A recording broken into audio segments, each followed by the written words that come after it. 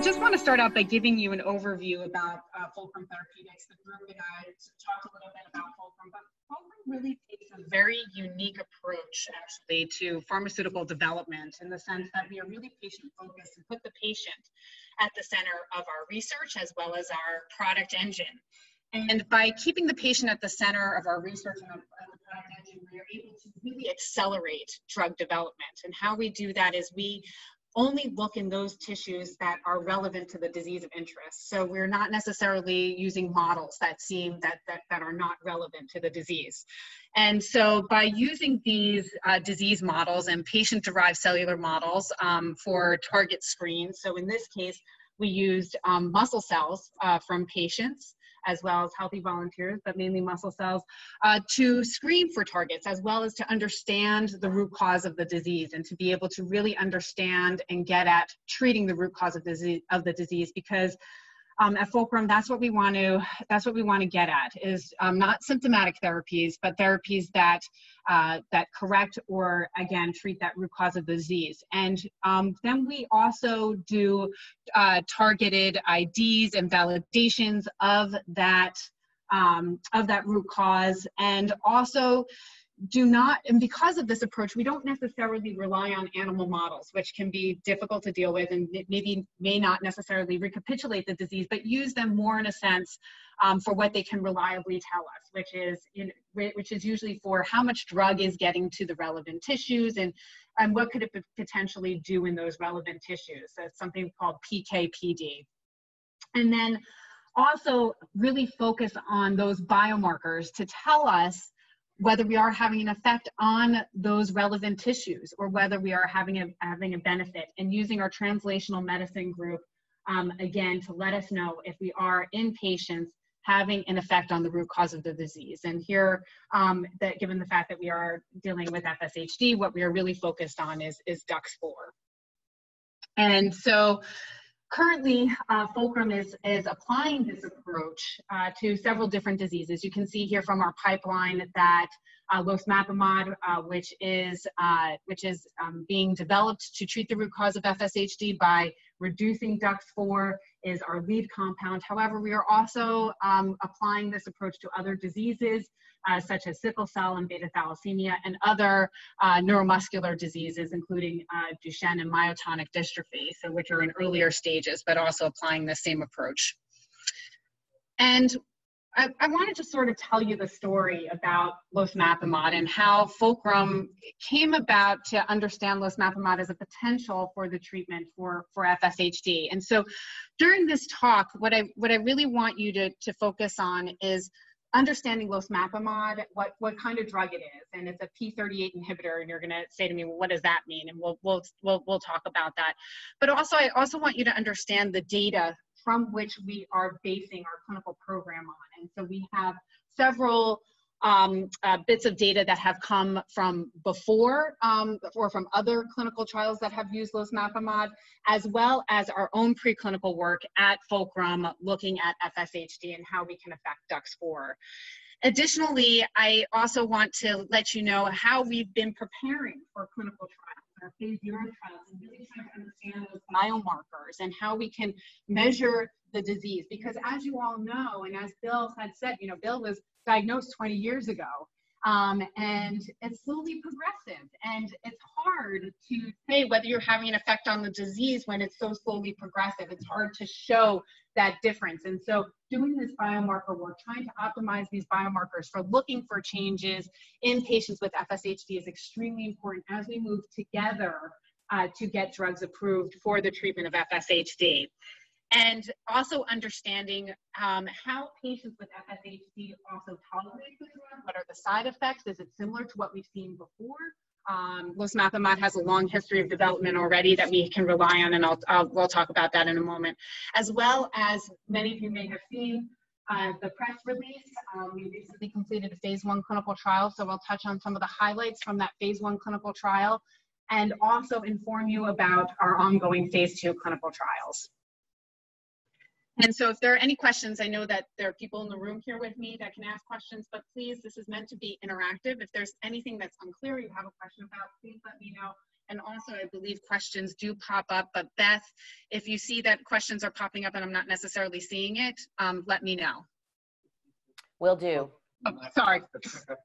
Oh, sorry. Okay.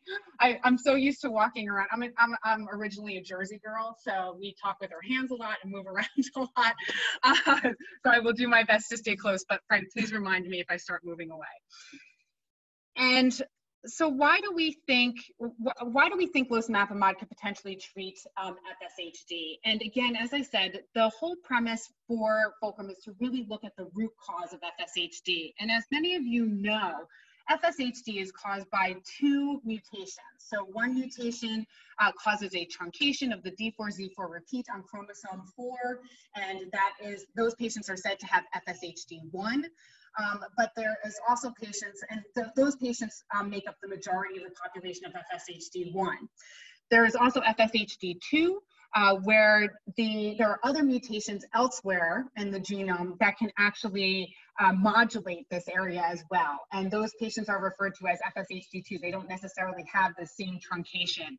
And so, um, and so it, it, it, it, but the main um, part where both of the genotypes converge is how they cause the disease.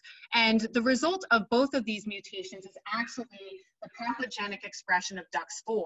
Now, DUX4 is, is expressed actually in embryogenesis when we're like two or three cells. So it does have a normal function in human development in the sense it turns on two or three cells because it has to activate this whole program in order for um, us to develop normally as human beings. And then it's supposed to be shut off. But what happens in FSHD is, is that it's not shut off.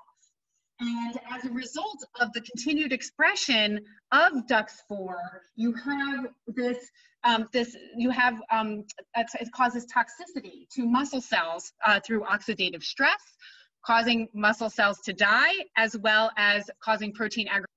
Um, as I was saying, so DUX4 is, uh, is continued, uh, continues to be expressed even after embryogenesis, even after that two to three cell stage, and it causes this uh, this inflammation it causes oxidative stress as well as what is called um, apoptosis, which is means cell death. It's just a fancy word for cell death, and also causes um, accumulation of protein in the muscle cells. And and also, uh, and as a result of this, there is a lot of inflammation.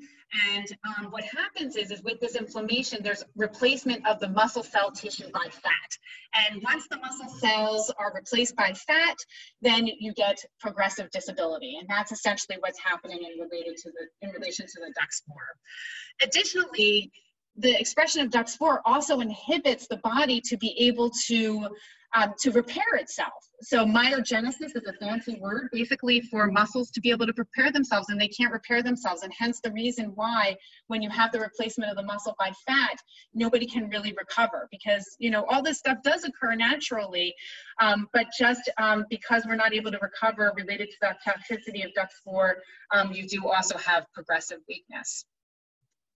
And so when we looked at this actually um, in our in, in, in, our screening process that I had shown you previously, what we did see was that treatment with these muscle cells, of these muscle cells, actually reduced DUX4 in these patient-derived muscle cells, and I'll show you that in a moment. But I want you to to understand what losmapimod is. Um, losmapimod is what we call a P38 alpha beta kinase inhibitor, and everybody's like, what the heck is that? so basically what a kinase does is it modifies other proteins. So in response to uh, signals from outside of the cell. And what happens is, is that it helps to modify these proteins so other genes are expressed. And, and then the expression of these genes in the cell goes on to, to do their job. And basically what losmapimod does is it basically says to P38, it, it inhibits it so that these genes are not turned on. And one of these genes that is not turned on when we look at P38 is DUX4. And it's mentioned here that P38 has these four subunits, and losmapimod is actually just for two. And we believe that because losmapimod is just specific for these two subunits, that, and because of the specificity, it actually has less side effects than you have seen with other not what we call non-specific MAP kinase inhibitors. And so, so that's what we're doing. We're basically modulating gene expression by using uh, losmapimod. And um, losmapimod was looked at by another company called GSK in several different indications, um, the big one being infl inflammatory disease, but also uh, COPD. And basically, they um, they did not continue with development of losmapimod because even though it showed some efficacy in many of these indications, it didn't show enough efficacy. It has not been tested in FSHD, I should let you know. So this has not been looked at in FSHD before. What we did learn from all of those studies is actually that losmapimod is very well tolerated and um, has a pretty benign side effect profile, which we'll talk about uh, briefly. And so when we identified losmapimod, basically what we did is we took muscle cells from patients such as yourselves, and we put them in a dish and we grew them up.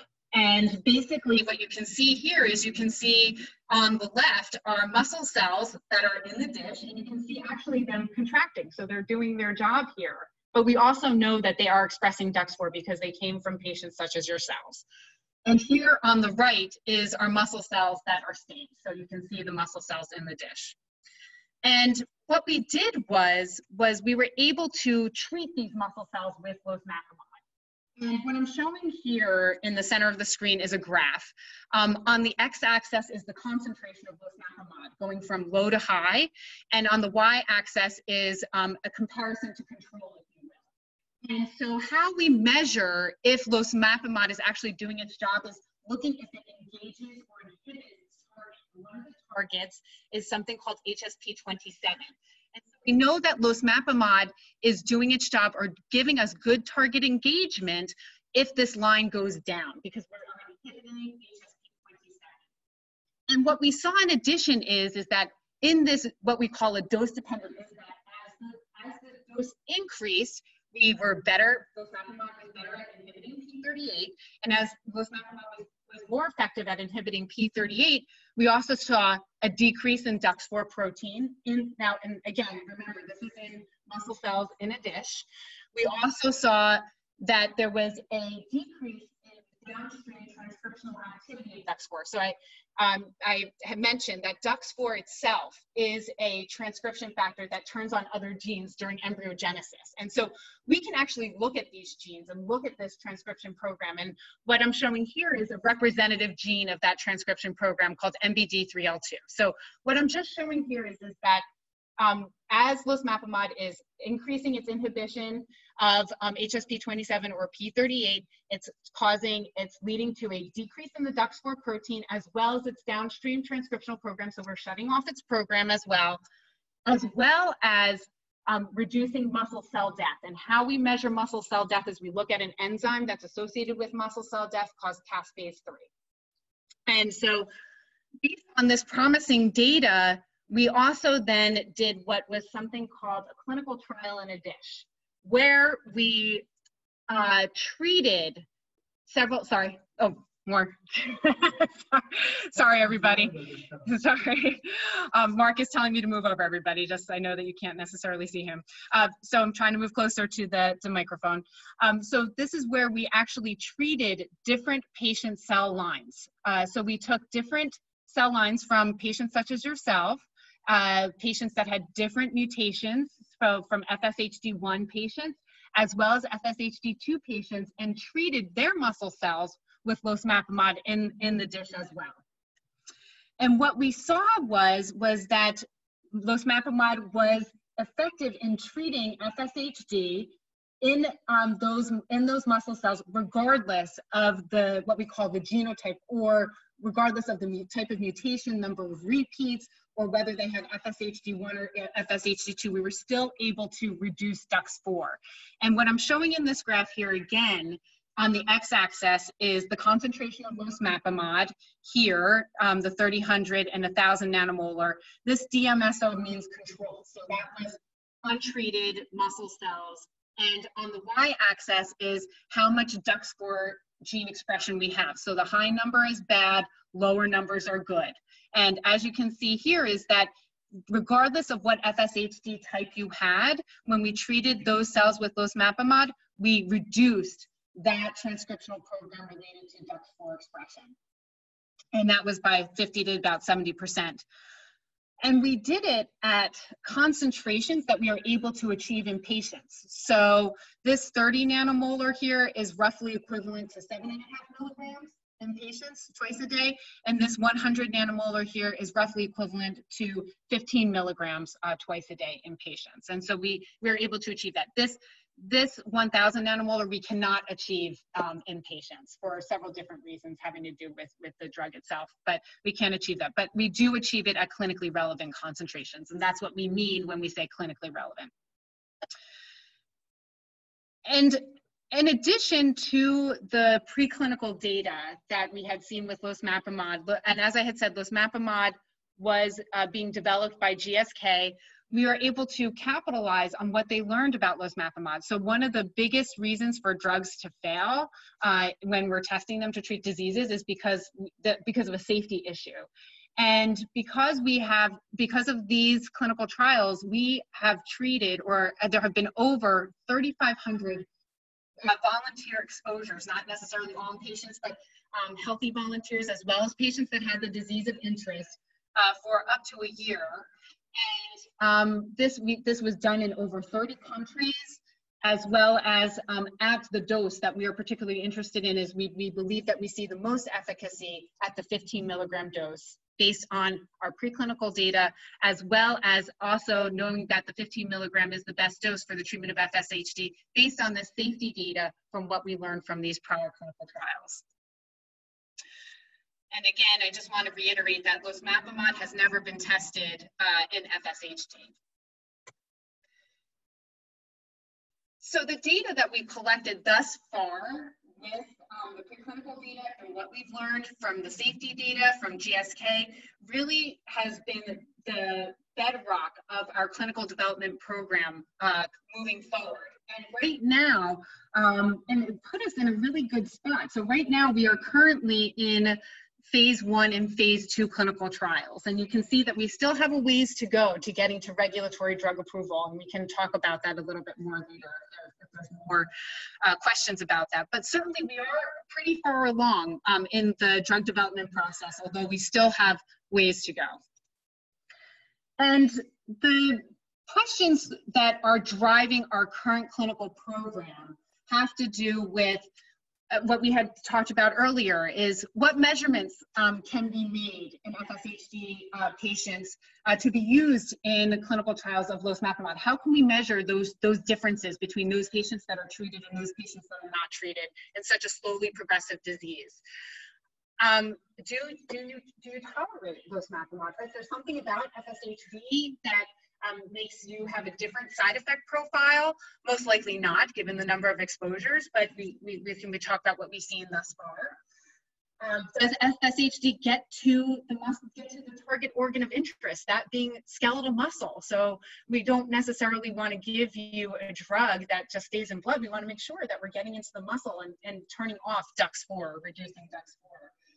That brings us to the next one is, is, is does it actually reduce DUX4-driven gene expression in the muscle, FSHD patients, as well as will treatment with uh, losmapimod lead to a difference in disease progression, which is the most important thing, or dare I say potentially improvement, although right now we are just looking at uh, progression. So, um, so all these questions are currently being considered. And when you think about question one, usually we're referring to uh, phase zero studies where we're looking for these biomarkers. As I've reiterated before, is that uh, FSHD is a slowly progressive disease. And so we really need good biomarkers to tell us if we are modulating the target of interest and if we can measure the small changes or benefits that patients may be having with, with treatment. And how we do that is uh, through um, our longitudinal biomarker study, which we recently completed.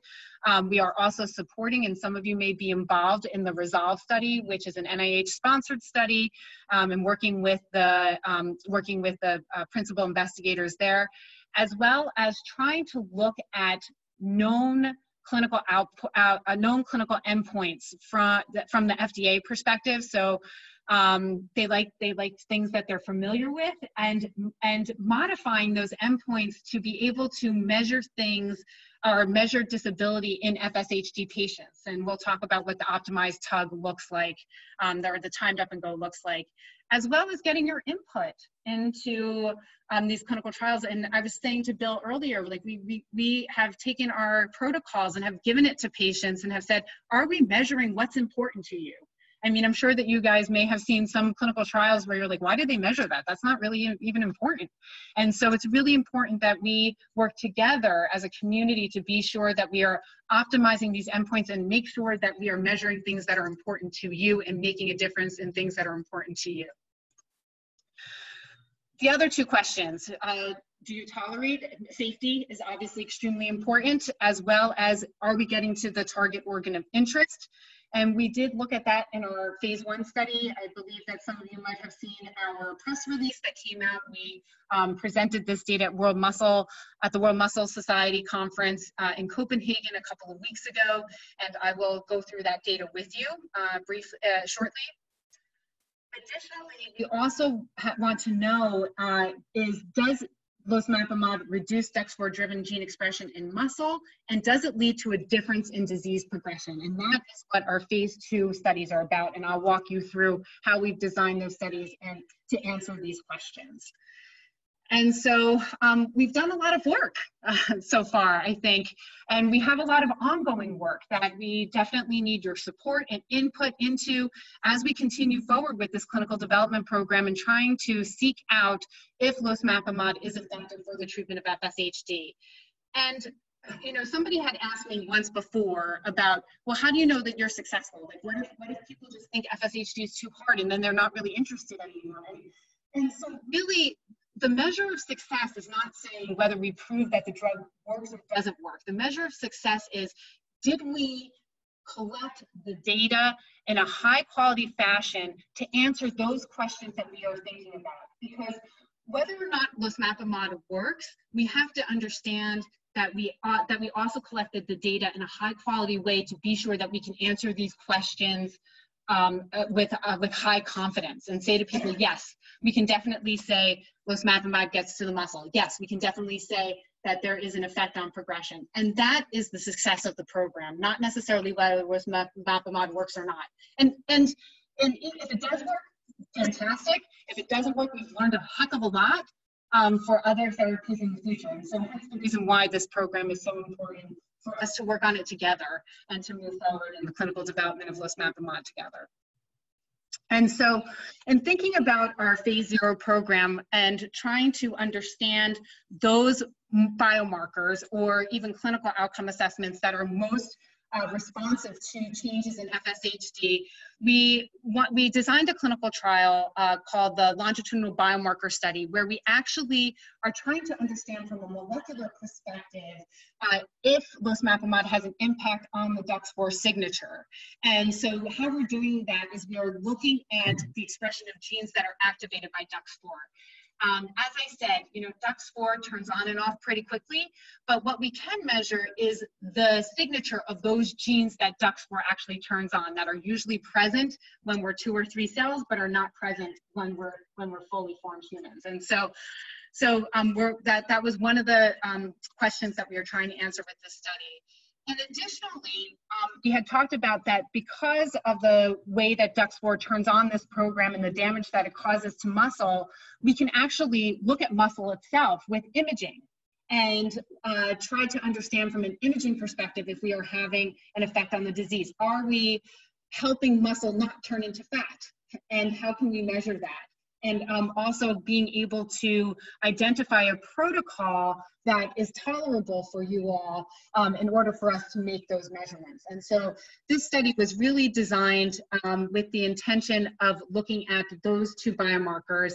In addition, also considering some clinical outcome assessments um, in FSHD. And basically what we're looking for in, um, in this biomarker study, and what we focused on in this biomarker study was the trying to evaluate clinical assessments in the whole patient because as you know there are some people that have more of their arms affected, given the way that um, FSHD progresses. There are some patients that have their legs affected. And so how can we more accurately measure upper extremity progression? What, what tools can we use?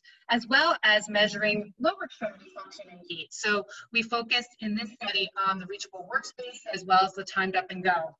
And in other subsequent studies, we have also included other outcome assessments, including the six minute walk test, which is where you walk around on a track to measure, uh, which is usually used to measure aerobic capacity and endurance, as well as um, putting on sensors on your wrists and on your legs to understand how a treatment might be affecting you in your everyday activity. So, so even if you can't walk, you can wear a sensor on your wrist and knowing how that is affecting you and maybe reaching up and trying to brush your hair or, or doing your daily activities is very important. And so we can measure that with wearable technology as well as me actually measuring muscle strength in a, in a quantitative fashion with something called dynamometry. And so uh, some of you might have been done some grip strength testing uh, in the past where you squeeze as hard as you can on this, what we have right here is the testing of the, of the grip strength, but there are also, you can use this technique to measure um, other muscle groups as well. And so as I was saying with the biomarker study, really our primary objective was to understand the DUX4 signature as well as to establish this whole body MRI protocol. And what we did was, was we enrolled uh, 17 patients into the study.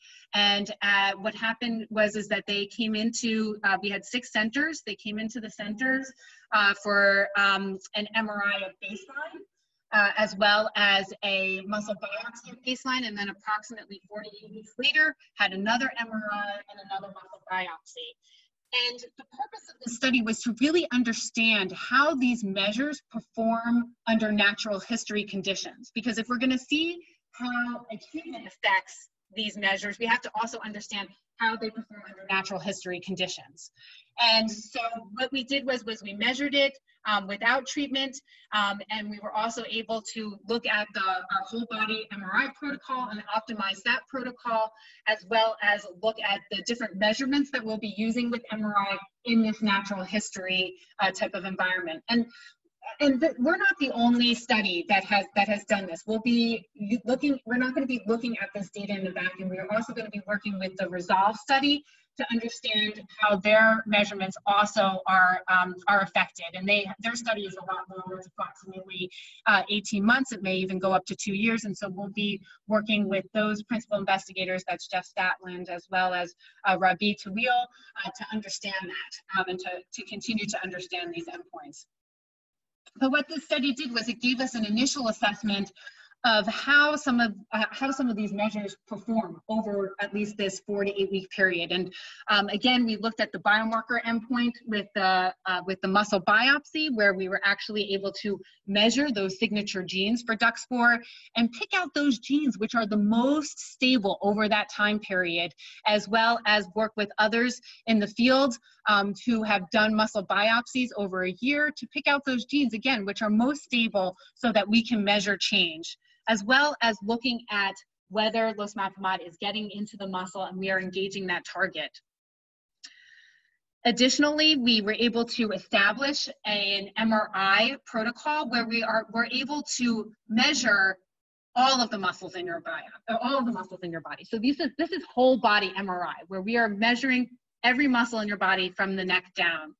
And we were able to get good stability in our measurements uh, for um, lean muscle volume, muscle fat infiltration, muscle fat fractions. These, this is all, these are all calculated volumes um, uh, from the MRI that let us know about muscle health. And um, what I'm showing here is is what we learned from this study um, and has been shown also in other studies about muscles that are affected in FSHD and those that are um, in orange or in red are most affected. I'm sure that you're all sitting there saying, yep, I can see that definitely. And those muscles that may not be as affected um, uh, with, with the disease progression. Additionally, um, we looked at the stability of a new type of assessment for upper uh, arm uh, function and strength called uh, reachable workspace, uh, where somebody is sitting in front of a TV monitor and they follow a video screen and they have to do the uh, movements that are on the video screen. And this is quantitatively measured uh, by I don't know if some of you have uh, in the past played with the Microsoft Kinect device where you're able to play tennis or Pong or something like that. It's similar, but it's uh, obviously upgraded for, for research purposes. And we're actually able to measure the area with which you can reach in different quadrants and make a quantitative measurement. And uh, an ongoing study has been going on with the Reachable Workspace with Jay Han's group at UC Irvine, and they were able to show some very interesting data related especially to quadrants one and three and how they change over time. And again, these natural history studies and understanding how these things change from a natural history standpoint is very important as we move toward uh, treatment uh, uh, or clinical trials where we're looking at treatment so that we can understand if we are making a difference. Additionally, we, yeah. Uh, you know, the, it's important that the FDA hmm measure what, uh, what's important Yes, uh, for this disease. correct. Have you shared this with them? I mean, is this part of your process of confirming that uh, uh, this really is a uh, a solution for FSHD? Yes, um, actually. I want to repeat the question into the microphone. for the- Sure, sure. So, um, so Bill was asking if the reachable workspace has been proposed to the FDA as a meaningful endpoint to measure disease progression uh, for FSHD. Did I did I get that all right? Yep. That, that among the other tests that you're doing. Yes. Yes. So, this is part of the clinical development plan and part of working with the FSHD Society is educating the FDA about these endpoints and, and having them understand why it is important and why it measures things that are important in the progression of FSHD. And hence the reason why I'm spending some time on these natural history studies is because if we understand how these endpoints perform under natural history progress uh, under natural history uh, conditions, uh, when we go back to the FDA and we, we when we put these uh, endpoints in our clinical trials and we say, well, look, they, they're, the area that they cover in the reachable workspace is preserved, um, or their time and the timed up and go is preserved. It actually puts it into context for the FDA that we are actually impacting the disease progression. And again, it, it, it comes down to because this, as we said before, Bill, because the disease is slowly slowly progressive and some of these endpoints were designed for other reasons. Um, it's really important that we understand how these endpoints apply to FSHD and how they change over time with FSHD. And and I and I alluded to the fact earlier that the timed up and go, which was originally uh, designed as a fall risk measure, uh, has been modified slightly for for FSHD uh, in the in the in, in terms of um, we have incorporated the truncal weakness component. Um, usually with the timed up and go, somebody is sitting in a chair, they stand up, they walk uh, three meters, they walk three meters back, and then sit back down again. What we did in order to capture the truncal weakness, which is very common in FSHD, is we added this lying down component. So you can see here is that this patient, um, not this um, healthy volunteer is lying down, he stands up, he's actually doing the regular tug, sitting down and then lying back down. And the reason why we added that component was because so that we could capture what is unique to FSHD. Additionally, I should say that these these endpoints actually performed very well in our biomarker study and were very stable over the time we measured them, which is good. It means that they're reliable. They're not changing a lot. Um, because if you have a measure that's very variable, then it's very difficult to tell whether the change that you're seeing is because of the variability in that measure or whether the change that you're seeing is because of the actual uh, intervention that you've done. Yes, Frank. One quick question. Uh, so the baseline decline data that you're trying to overcome mm -hmm. uh, is is uh, different for many uh, segments of the FSHD population. Mm -hmm. Um, so copy number and all of that uh, uh, aspect about the genetic underpinning of the disease is, is part of uh, how quickly you might see a decline. Yep. Does that change the kind of patients that you're trying to look at? Right. So that's a that's a great question, Frank. And I think that um, so Frank's question is is the variability of the genetics underlying the disease can impact the progression of the disease itself, and does that impact the type of patients that we are looking for to uh, to um, recruit for our clinical trials? And so. And we talked about this this this previously. Um, part of the reason when you're doing a clinical trial depends on why you're doing the clinical trial. Early in development, you want to try to have a population that is as much the same as possible so that you can detect, so you optimize your chances of actually detecting changes in that population. And then later on, usually what we do is, is then generalize that to further populations with further clinical development and further clinical trials. And so um, initially when we were looking at, uh, at, at um, changes in a population, and one of the criteria was, and Bill had brought this up earlier, was, um, or Frank, you had brought this up earlier, was that one of the criteria that we have for our current phase two is the fact that we are requiring STIR positive muscles in order to be um, in order to be included in our clinical trial. And STIR positivity means that the muscle has to have a certain signaling quality in order for a patient on MRI, in order for patients to be included in that phase two clinical trial. And part of the reason why we are requiring that is because uh, the Wellstone group uh, with Leo Wang had shown that those muscles that have that signaling quality on MRI are more likely to express DUX4 than those muscles that do not have that signaling quality. And because the endpoint that we're looking at in our phase two clinical trial is actually DUX4 expression, we need to enrich the population, if you will, with those patients that are actually going to be expressing DUX4 so that we can actually measure that endpoint over time. Does that make sense? Okay. So, uh, so our preliminary results actually from our phase uh, zero studies for the biomarker um, is that we have actually been made, uh, made some very good um, inroads into identifying a panel of DUX4 regulated genes to measure DUX4 activity in skeletal needle muscle biopsies. And this work is continuing to be ongoing and we are continuing to collaborate um, with the Wellstone Group and others uh, to finish up this work as well as we were able to identify a whole body protocol and analysis algorithms uh, to evaluate skeletal muscle replacement by fat. So um, that whole body imaging is something that really has not been done before. And so that's something that will certainly be new and novel that we will also have to educate others about as well. Additionally, we talked about this as well, is we, we demonstrated the reliability of the reachable workspace as well as the timed up and go assessment in the FSHD population. So again, that being making sure that they're not variable measures all over the place and the fact that they are stable over this time period, we will be able to uh, detect uh, if any of the changes are due to the treatment itself.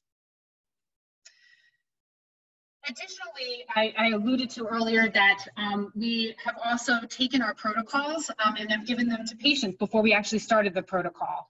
Uh, and we did that with our current phase 2B study and something we called the virtual clinical trial, where we actually had sites recruit patients uh, that would be uh, eligible for the phase 2B clinical trial. And we had, um, we were able to recruit 79 FSHD patients from all over the world and gave them the, the protocol and said, what do you think? What, are, are, is this protocol doable? Is this going to be too much for you? Um, and ask them questions about the assessments, uh, travel time, uh, things of that nature. And um, it was done in, on a survey. And what we found was, was that the patients actually said that the schedule of assessments um, for the phase 2B was understandable that uh, the clinical outcome assessments were reasonable and we did include the reachable workspace as well as the optimized uh, uh, TUG, that the visit duration and the frequency is acceptable. And one of the things that was highlighted as a potential uh, problem with this clinical trial was the requirement for the muscle biopsies. But most patients said that they would do as many muscle biopsies or as many MRIs as necessary in order to answer the questions that we're asking. So that's the reason why we move forward with the phase 2B um, as designed. Now, I did promise you that we would uh, also review some of the, uh, the phase one um, study uh, results. Uh, Again, this, um, this data was presented uh, in Copenhagen at the World Muscle Society uh, just recently. And the whole point of this study was really to evaluate the safety and tolerability of losmapimod in FSHD patients. I know that we had said that we were in a great position and that we already have 3,500 exposures to losmapimod, but we also wanted to make sure that it was safe in FSHD patients. And also, we were able to measure drug levels as well as engagement of the target, as well as making sure that we are reducing uh, P38 or, uh, or having P38 inhibition in both blood and in muscles. So in these patients and healthy, uh, well, in the patients, we um, did take muscle biopsies in this study. And so this study uh, contained uh, two parts. Uh, the first part had uh, 10 healthy volunteers, and this is where we were just trying to see, um, trying to get an idea of the concentration of losmapimod in blood. And what we did was, was we had uh, patients were either, not patients, healthy volunteers rather, were either um, given single dose uh, losmapimod at seven and a half milligrams, just one dose, or and 15 milligrams, or they were randomized to placebo. And we looked at the um, the exposure to losmapimod in blood in the healthy volunteers, and we were, and this was done so that we can compare it to the FSHD patients to make sure that there was nothing different between the healthy volunteers and the FSHD patients. And then in part B, we enrolled 15 FSHD patients uh, with uh, type 1 FSHD, and they were randomized to either losmapimod 7.5 milligrams, 15 milligrams, or placebo twice daily for 14 days. Uh, prior to the first dose, uh, patients did have a muscle biopsy, and then um, on day 14, around 13, 14, they had their second muscle biopsy uh, while on treatment. And I should say that these biopsies were actually done on normal appearing muscles in MRI. But the reason why we did these muscle biopsies is because we wanted to be sure that losmapimod was getting into the muscle and, and um, also uh, engaging the target in the tissue of interest, in the organ of interest, I should say. And um, we did meet our primary endpoint. Uh, most of what we call adverse events or adverse effects or uh, which are side effects that are reported by patients. So we ask patients, did anything happen today? Do you have any issues today? Most of the side effects uh, were self-limited and very mild. The most common side effect was actually headache. And uh, with continued dosing, it usually went away. There were no what we call serious adverse events. These are adverse events that usually land you in the hospital or require some um, sort of advanced care. Uh, additionally, we did, there were no significant changes in vital signs or laboratory analyses, ECG or urine analyses, and actually the muscle biopsies were very well tolerated. So even after this short period of time, uh, 14 days, the muscle biopsy was, was well tolerated. And I neglected to say that these muscle biopsies are done in the same muscle. So if you were to do a thigh muscle at baseline, um, we biopsy that same muscle again um, at that second time point. So around that same area because we wanted to make sure again of the stability of that sig signal of the DUX4 signature. No, it's a it's a it's a needle biopsy. So yeah, it's a muscle needle biopsy. It's not open, um, but yeah, but it requires yeah, there it is a needle. Yes. And what we were able to see was was that the exposure in healthy volunteers and in the patients was the same. That, And what's what we call PK profile or pharmacokinetic profile was the same over time. And we were also able to show that there was a dose-dependent levels of losmapimod that was detected in the muscle. So you can see here that on the x-axis, you have in orange the seven and a half milligram dose, um, as well as the 15 milligram dose in blue. And on the y-axis, you have the losmapimod muscle concentration. You can see here that the concentration for seven and a half was about 40 nanograms per gram, um, and uh, the 15 was around uh, 70 nanograms per gram and so that this and this is different, uh, which is which is um, which you, so we know that we're getting more exposure at the 15 milligram dose than we do at the seven and a half milligram dose. And and thinking back, I'm going to take you back to our um, to our preclinical uh, data and thinking back to our preclinical data. And the reason why I keep talking about the 15 milligram dose is because the 15 milligram dose gives us that exposure that we think that we that we think, based on our preclinical data, gives us the best inhibition of P38, uh, which is right around here, which is right around the 30 nanograms per ml, re resulting in the most robust decrease of the DUX4 protein, as well as its downstream transcrip transcriptional program, and as well as muscle cell death. So um, and so, so that's the reason why we think the 15 milligram dose is, is the most efficacious and why we think we are we, we will have some potentially some efficacy uh, in uh, FSHD, but that is currently being tested in our phase two clinical trial so now getting to the phase two clinical trial, um, which we are referring to as REDUX4, and this is assessing basically the efficacy of losmapimod in FSHD, and I'll also talk about our open label study in just a moment as well.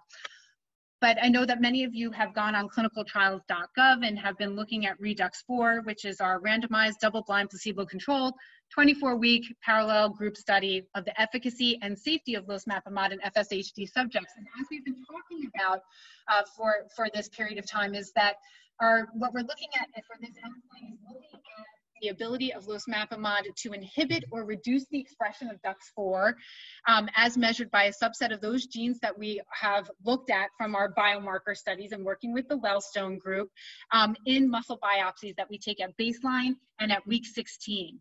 And also we want to obviously continue to evaluate safety in FSHD patients as well as the drug levels and our ability to continue to inhibit P38 in muscle and continue to explore um, how we may change MRI measurements as well as the clinical outcome assessments with treatment.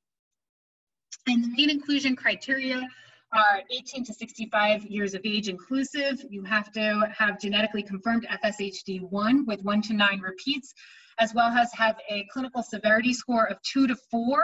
And what that means is that uh, uh, two is uh, some upper extremity uh, weakness um, up to a four means that you have to be able to walk unaided. Uh, but uh, AFOs and canes are allowed. Um, unfortunately, no wheelchairs. Um, and you also um, have to have an MRI muscle that can, uh, I'm sorry, a muscle qualify for biopsy based on the MRI. And what we mean by that is that we do the whole body MRI on you um, and we've identified five muscles in each leg, so possibility of 10 muscles uh, that can be eligible for MRI, and this MRI goes to a central reader. And the central reader says, okay, this um, these muscle or this muscle has STIR positivity, and then they also look to make sure that it's not too fat replaced or too progressed, because we obviously need muscle tissue to evaluate. If biopsy an area that's STIR positive and it's all fat, it's not going to give us the it's not going to give us the endpoint that we're looking at, which is the DUX4 uh, expression. And that's the reason why the, the, those, um, the, and that's what we mean by an MRI eligible muscle for biopsy. We have uh, approximately 20 sites uh, in the study. It is a global trial. Um, they're listed here. Rabih Tawil um, from the University of Rochester is our principal investigator and has been doing a fantastic job. And we are truly grateful to all of these sites uh, for um, and for uh, supporting the REDUX4 uh, study, and they are listed on clinicaltrials.gov as well. So if you have any questions as to which site is participating, you can also call the FSHD Society. They know which sites are participating, um, and then um, also the, the list is available publicly on clinicaltrials.gov. So Redux 4, I'm just going to take a quick drink of water here. Sorry. Um, Redux 4, uh, as we said, is a 24-week uh, treatment um, uh, trial, uh, but the total duration of potential involvement is actually 29 weeks because there is a screening period where we make sure that you meet the inclusion criteria that we just talked about. And I have here at visit one, you get that MRI. Um, when you come back for visit two, you then have your muscle biopsy and then you are randomized to either placebo twice a day or losmapimod twice a day. And you stay on the placebo and losmapimod uh, for 24 weeks. Uh, I will highlight here that our but but our primary endpoint is not at 24 weeks of treatment. Our primary endpoint is actually at 16 weeks of treatment, and that's where we take that second muscle biopsy. And uh, the reason being because we believe that we will have an effect on that molecular endpoint uh, likely sooner uh, but that it's, that we can evaluate it and that it also demonstrates durability of the effect of losmapimod on the DUX4 signature at that time point as well. And that that has been informed by other um, other clinical trials in, in, in other uh, diseases such as Duchenne muscular dystrophy. Uh, once you finish the 24-week placebo-controlled treatment period, uh, there is then a seven-day safety follow-up period as well. So we are looking for approximately 66 patients to be enrolled uh, to either placebo or losmapimod, 15 milligrams twice a day. We discussed the reason why we think 15 milligrams is the right dose as well.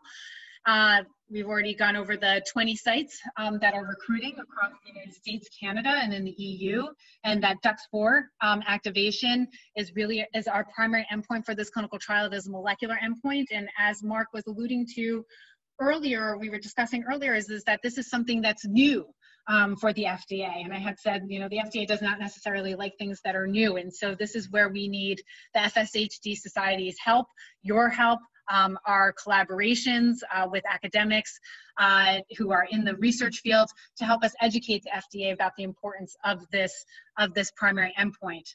As well, we are preparing for other clinical trials because we know that the FDA wants to see clinical benefit. So by um, looking at, by continuing to evaluate those clinical endpoints that we had talked about, the reachable workspace, the TUG, as, as well as others. And then there are things called patient-reported outcomes.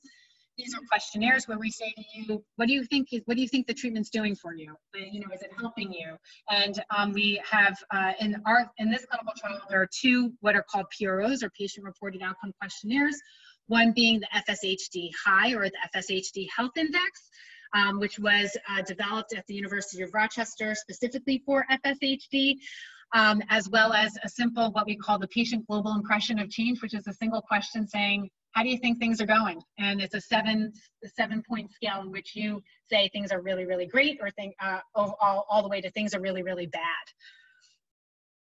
Um, and we will also continue to measure drug levels as well as P38 inhibition, blood and muscle as well. And we are uh, we believe that we will have results um, are expected in uh, 3Q of 2020. So this uh, clinical trial is enrolling quickly, um, and, uh, and, and we'll hope to have to have that information for you um, in the 3Q of 2020. In addition um, to helping us to helping get more information to inform our clinical development plan, um, we also have started an open label study. And what's nice about an open label study, unlike the placebo controlled trials, is that you know that everybody is on treatment. And, um, and really, we started this open label study also to have additional evaluation of safety and tolerability of long-term dosing of losmapimod in FSHD patients, but also to inform our endpoints of REDUX 4. So we are able to, we've designed this study to um, evaluate some of these endpoints at an earlier time point so that we can understand if we need to change things in the current REDUX 4 clinical trial. And so in this study, we'll also be looking at drug levels as well as P38 inhibition in blood and muscle, as well as looking at uh, continuing to look at MRIs, those clinical outcome assessments we talked about, and some other things, um, such as using those real, the real world assessment of mobilities. By have these patients, um, these 16 patients uh, that are going to be recruited for this trial are going to be wearing um, sensors uh, for two weeks on, two weeks off for a whole year so that we can see um, uh, what, what potential effect we have of treatment on um, in the real world as you're going around, as you're going about your day. And yeah. So this is in addition to the, two trials Correct. Yes. Right. This is an open label study, and and and thank you for thank you for um, bringing that to my attention. I neglected to say that this trial is at a single site in the Netherlands. So we are working with uh, Baziel van Engelen um, and his team there, and they're recru they're recruiting from um, inside the Netherlands these patients uh, uh, for for this study. Yes. Mm -hmm. Yes. Yes. Yes, that is correct.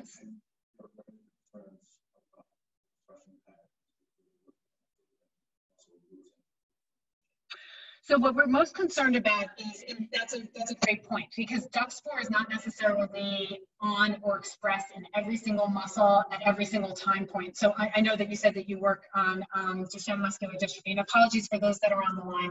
The question that was raised was, are, are we concerned about the variability that can be induced by looking at different muscles? So in a sense, like if, if on one patient we're looking at the tibialis anterior versus in another patient we're looking at the gastrocnemius um, muscle, and, um, and so uh, what we are evaluating is the change from baseline uh, in that DUX4 expression in that particular muscle that has been biopsied. Uh, so the muscle itself uh, or the, the muscle that we are biopsying is not as important as being sure that that muscle is actually expressing DUX4 because as you've correctly pointed out is that DUX4 is not necessarily expressed in every muscle at every um, uh, at the same time. Whereas in Duchenne, you know, you know that everybody does not have uh, dystrophin. So, um, so, so hence the reason why we are using the MRI criteria to enrich for that, and then we'll be looking at that change from baseline in that muscle.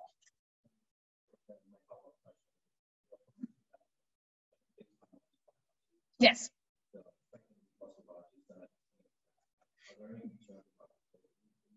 Mm -hmm. So yeah, and we've looked at that in our Oh, yes, thank you for reminding me, Frank. Uh, so the question was, was that um, since we are repeating the muscle biopsy in the same muscle in the same approximate location, are we concerned about any effects from inflammation, scarring related to the muscle biopsy?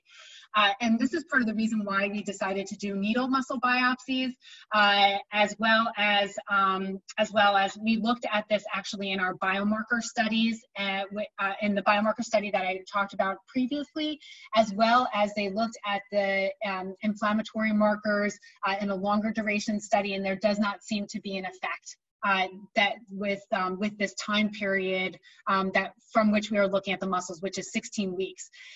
Additionally, in looking at those phase one muscles in which patients were um, evaluated uh, after 14 days, we didn't see any difference there either um, in relation to those, in, in relation to that either. It didn't seem to have an effect. Other questions? Uh, so the biopsy can be uncomfortable. Yes, absolutely. The uh, um, anesthesia is used uh, to uh, numb the area that will be biopsied. Uh, most patients tolerate it pretty well. Uh, Frank, you've had the biopsy, so. Um, I've had, I've had a lot of biopsies in various FSHD research studies. This is kind of minimal. younger people walk out and go play tennis uh, older people like myself need a day or 2 mm -hmm. Yes.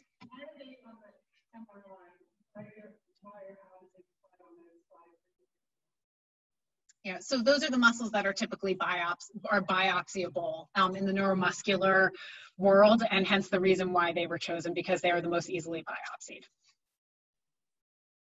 Oh, the question, sorry, everybody. The question was, why did we choose those particular five muscles in both legs? And that was my answer. Other questions?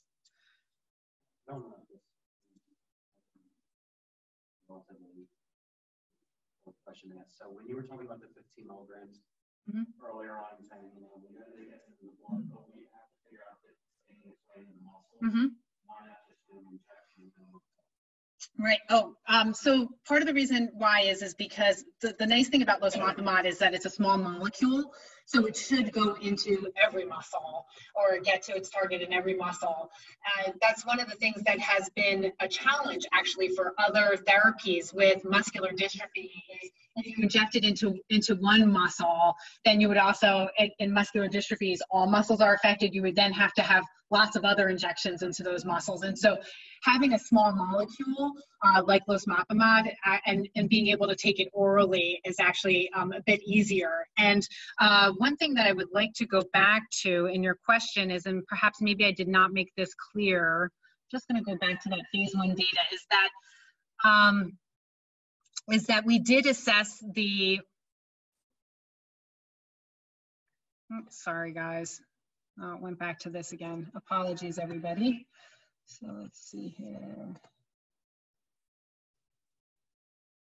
Um, and just remember that we had, we did look at the losmapimod concentration in those muscle biopsies, and we did see a difference uh, between the two doses. So we know that losmapimod is getting into the muscle and that there's a dose-dependent uh, increase as we uh, increase uh, of exposure in the muscle as we increase the dose to 15. Um, so I will just escape that here. Other questions while I'm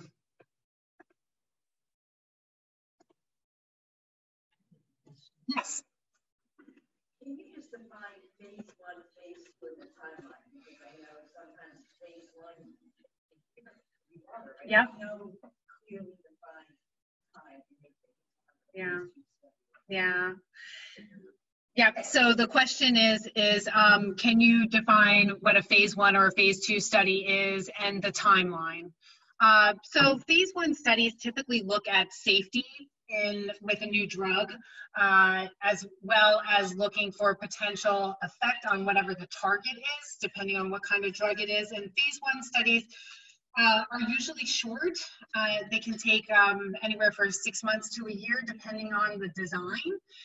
In terms of the phase two studies, there are several different types of phase two studies that, that can be done, and they can take from anywhere from six months to several years. And sometimes these studies are amended, and then you like, oh, this is a phase two, three, or what have you. And they can, but usually the phase two studies can last from six months, um, anywhere up to several years. And usually what we're looking for in the phase two studies is efficacy on a spe specific endpoint. In our case, it's the DUX4, the molecular endpoint.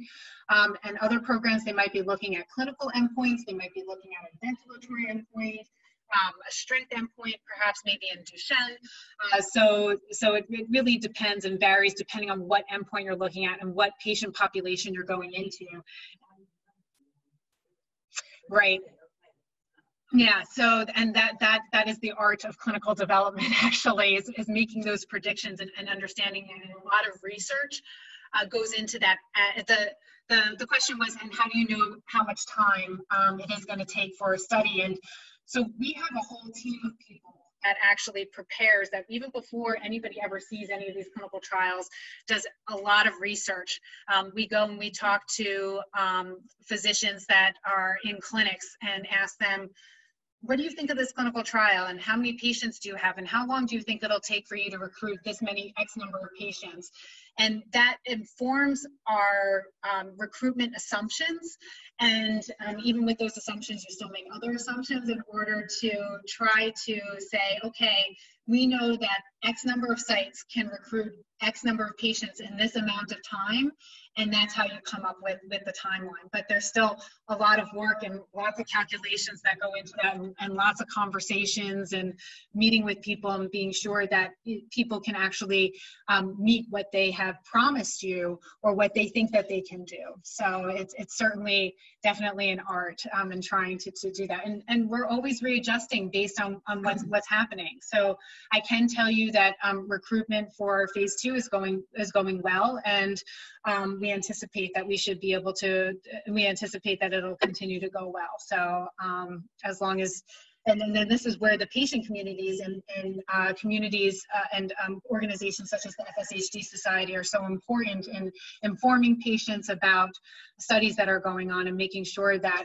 uh, patients are, are able to know about these clinical trials and understand them as well because nobody wants to participate in a clinical trial if they don't understand it. So that's very important. You said that your target is 66. Correct. Uh, where are you in terms of recruitment? Um, our recruitment seems to be going on time currently.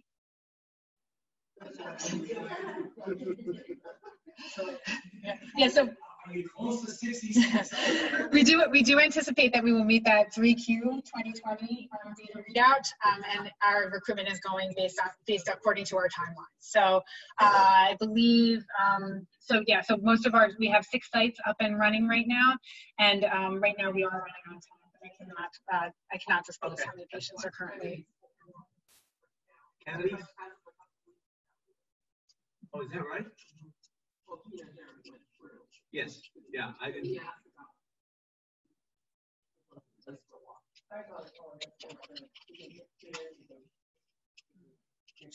oh, maybe they would back up before Oh, okay. before vacation, they couldn't, they had a. So each site, each site as part of the, as part of being part of a clinical trial will tell us how many patients they can potentially recruit and, and, and that number varies for um, each site about how many patients they'll recruit. Or screen, I should say, or screen, I should say. Mhm. they might have had this many that they pre-screened, so they've already built reservations. But then as they pre-screen them, more uh, did not make the screen than they anticipated. Right. So then they open it back up, so to speak. So Mark was saying that each site has, has a list of potential patients um, that they pre-screen and that as patients uh, go through the screening process and either go into the trial or potentially screen out, they can add more patients to that list. Any other questions? Yes. Mr. So Frank. you also had the experience from the pre-study about how many.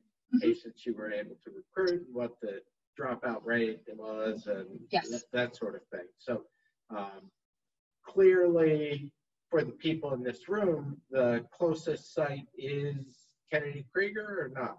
Mhm. Um, so KKI in Baltimore, let me go back to, Rochester yeah, Rochester's pretty close. We, uh, Rochester is close. Um, Boston is close as well. So, um, so some are, some are a little bit further away. VCU also is a site. So, um, in Richmond, uh, is a site as well. The, they're, they are currently open. hmm So, so in terms of the clinical trial, you have to, you would go visit them seven times. Uh, these are the, the visits here um, are listed. You have to go for your screening visit and then you go back for your muscle biopsy.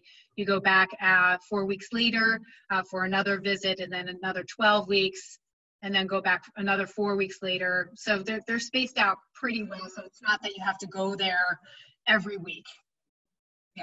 And in addition, um, the, the trial will compensate you for some of your travel costs, food, and uh, under certain circumstances, lodging. Yeah, so Frank was saying, I was talking about the travel reimbursement that has been agreed upon uh, with the, with the sites uh, for patients that will be traveling to sites um, that are further away from their home or that may require them to stay overnight. So, and that's something that you can certainly discuss with the site that you, that you go to. Michelle, I have a question online um, Mhm. from Jai Narayan. After the 24 week study period ends, what happens? Will all patients go on um, the lasmapimod? I know, can't say that right. For Mhm. some um, kind of ongoing study like the one in the Netherlands. hmm Yep. So um, what uh, what Jai is talking about is potentially an open label discuss an open label extension study, which is very common in pardon me in phase two clinical studies, and that's currently being discussed uh, at Fulcrum, and we we are planning um, an open label uh, study, and the uh, that will be um, that will be uh, that that will be the the details of that will um, come out in a couple of months. Other questions? Okay. So, so basically, I, you know, I, I appreciate all the questions and all of the enthusiasm um, for, for the Fulcrum program um, and treating uh, treating FSHD with losmapimod.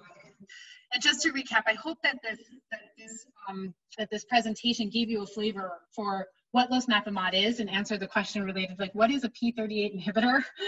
Um, and and that you have seen data which um, has shown you that losmapimod in the dish, in the clinical, in our clinical trial in the dish, that we are able to reduce DUX4, um, its downstream transcriptional program, as well as muscle cell death. And also have given you an idea of what Fulcrum is doing to prepare for further clinical trials, not only the phase two that we are currently in with the DUX4 transcripts or measuring the DUX4 transcripts, but also looking at those MRI endpoints, uh, the clinical outcome assessments, as well as um, informing you about our phase two clinical studies that are that are ongoing. And certainly, um, we have uh, on the clinicaltrials.gov website, we have a- an email there that you can pose any questions to. I know that I've thrown a lot of information out to all of you today. Um, but as questions continue to come up, please contact us and let us know what you're thinking or what, what you have questions about because we're happy to to work with you to get you to understand what is involved with these clinical trials. It's, it is a complicated process and the FSHD community um, is new to, I think, the clinical trial space. I know that there have been several, some clinical trials that have um, been ongoing, but but still, I think that the FSHD um, community is, is relatively new to this space. Unlike other neuromuscular communities, there's been a ton of research going on in Duchenne for quite some time. So, so we're happy to answer any other questions.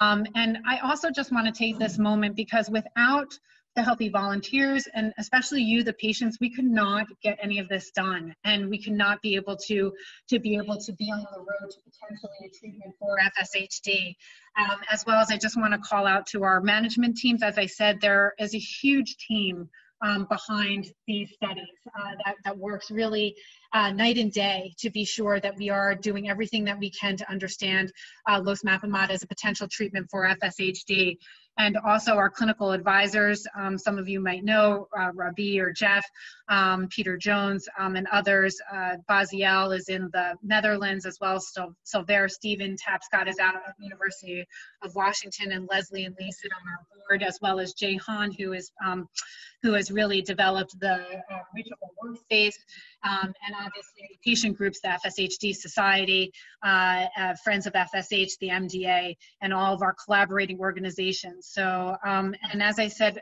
you know, Fulcrum, um, there's a huge team behind this, and um, we're very passionate about this, and, and we, we are truly committed uh, to seeing this through. And so, if you have any questions or need anything from us, please reach out. Um, we're happy to uh, steer you in the right direction, answer any questions. Um, Mark and his team are also standing by. We're working very closely with the FSHD Society and those other patient organizations as well. So, thank you very much for taking the time today. Yeah. Mm -hmm. Yes. uh, if, if successful, uh, this treatment will stop for and basically pause your progression. At least that's the objective, I believe. Is that correct? That's correct, Bill. Now, when that happens, you, you said at the beginning of your presentation that uh, you know in a normal body, muscles rebuild. Mm-hmm. You know, they, they get torn down, they rebuild is is there an expectation that in addition to stopping that we may be able to begin rebuilding muscle again mm-hmm. Mm-hmm.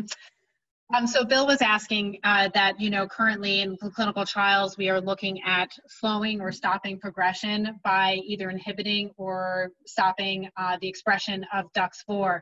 And his question was, was that in normal people, they're able to repair their muscles and does Fulcrum anticipate that there will also be normaliz normalization of muscle repair? I can't answer that question right now, but we'll learn together. Thank you. Let's give her a hand. Just uh, real quick, real quick uh, comments. The FSHD Society, working really hand in glove uh, with Fulcrum and other um, organizations, really to represent all that you've seen here to the FDA so they can embrace the endpoints that we know are important to our families. We're kind of called uh, at least in the industry, so to speak, the honest broker, if you will, because we own, we have you. They're getting a drug on the market. Now, let me say very quickly that Fulcrum, I, we are almost family, and they are heart and soul committed to our families. So they're not just trying to sell a drug and some of that kind of thing. So I don't want to allude to that, but we really, when we represent uh, things to the FDA, we represent you. We only have you in our focus. We don't have the business side of it or any of, of those kinds of things. So the partnership between the FSHD Society and Fulcrum works hand in glove very well. For instance, even in recruitment, I uh, was thinking back there that uh, there have been moments in time every study coordinator at every one of these sites is not usually just recruiting for us. They've got a list of other clinical trials, Duchenne's, et cetera, that they're also trying to recruit for. Sometimes, even with this one, there have been people who have called some of our really key sites and said, I'm getting, I'm, I get no response. I said, okay, let me shoot an email to somebody. And lo and behold, they get response, you know, and it's not because of the lack of interest in our families. It's just because of the lack of, you know, sometimes the mail needs to be put to the top of the pile. That's one thing, um, along with other things that the FSHD Society can do to help all of our trials recruit on time, under budget, so that we can get this thing done. So um, it, it, we stand in the gap and really play an oversized role in this space. And when I say we, I don't mean just the FSHD Society as an organization. You are the FSHD Society. And we together, uh, one voice, a million strong, can play an oversized role in this. So this is uh, this is really a first for us in this, uh, so to speak, national broadcast of a local chapter. I also want to thank Bill for your leadership. It, it, it, I mean, you thought of it, you reached out, you said yes, and suddenly it became this big national thing. Um, and, and that's all because of you. So I want to give you an applause. Absolutely. Well, and that's why we're here. that's why we're here. But it was your idea, and you pushed it, and you uh, you hosted it. So I want to thank I want to thank you, uh, Michelle. I want to thank you, Bill, and I want to thank everybody who tuned in. All of the chapters that are meeting simultaneous through here, and uh, we'll sign you off right now, or at least Beth will. Uh, to to go and, and have conversations amongst yourself. And please feel free, send us an email, uh, if you have any questions, if you want to navigate anything, we can help do that. So we stand here ready to help. So thank you. Thank you all. And I'll turn it over to Bill.